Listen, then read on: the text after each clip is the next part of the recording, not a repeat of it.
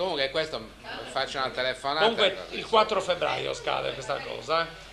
Questo pensa di poter far accreditare congressi dei suoi congressi, perché corsi non è che ne farà tanti.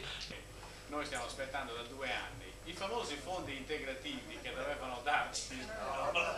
Eh sì, lo so, lo so, lo so, ma obiettivo complessivo che assume sia la dirigenza sia gli altri lavoratori che sono la, che sono la controparte. Però questo aspetto dell'essere controparte, gente, non è più nel pubblico impiego il collega più del discorso relativo ai piani, agli obiettivi che vengono posti, ai meccanismi di distribuzione del, del budget che dovrebbero sottendere, eh, sottendere a questo.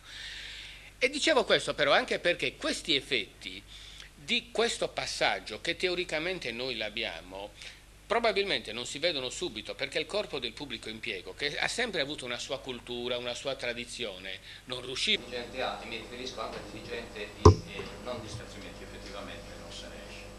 Poi vorrei fare una domanda molto, molto semplice al dottor Meloni.